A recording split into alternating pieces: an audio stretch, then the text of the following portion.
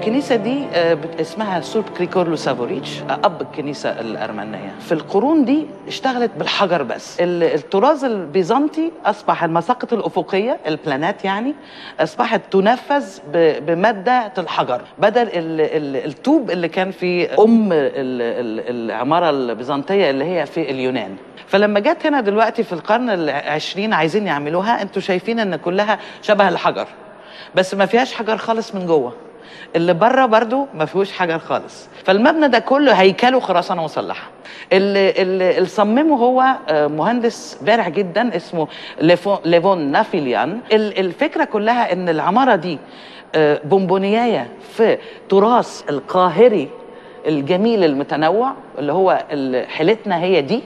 البلد دي سابتني آه، أعرف اللغة بتاعتي. وفخورة إن أنا عارفة سابتني أتعلم التاريخ. يعني أنا عملت ابتدائية ومعاها أخدت اللغة وال وال والتاريخ الأرمني.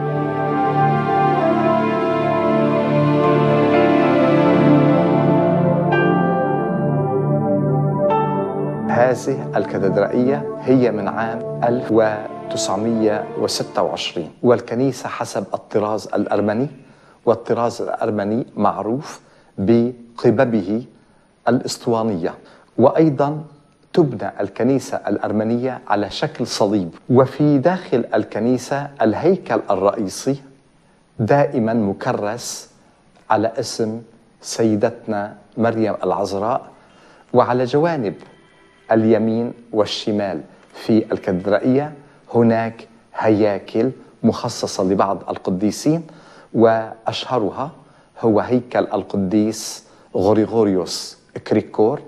وعند هذا الهيكل نجد أيضا تمثال للقديسة أشخين ملكة أرمينيا.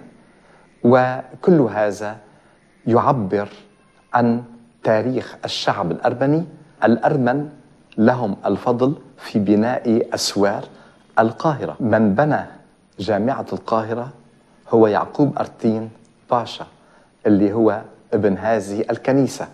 وأول ما بنوا أيضا الجوامع لنعبر بأننا شعب نحب بعضنا البعض ولا خلاف بين بعضنا البعض في بناء الكنائس والمساجد لأنها كلها تعبر عن إيماننا الواحد بألله تعالى.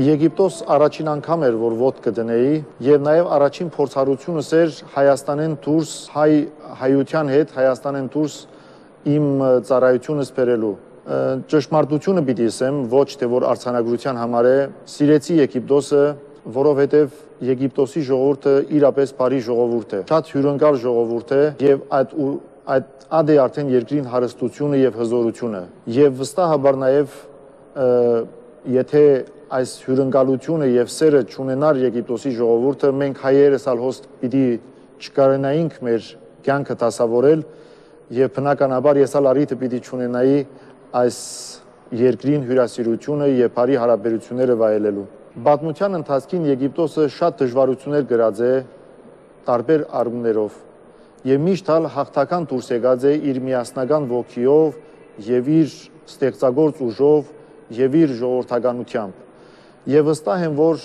այս շրջանին ալ իրենք այդ ուժը եւ կարողությունը կրնան միացնել եւ ստեղծել հզոր Եգիպտոսը որու մեջ խաղաղ կապրի թե եգիպտացի ժողովուրդը թե հյուր ժողովուրդը եւ թե բոլոր այն քրիստոնյա փոքրամասնությունները որոնք հաստատված են Եգիպտոսի մեջ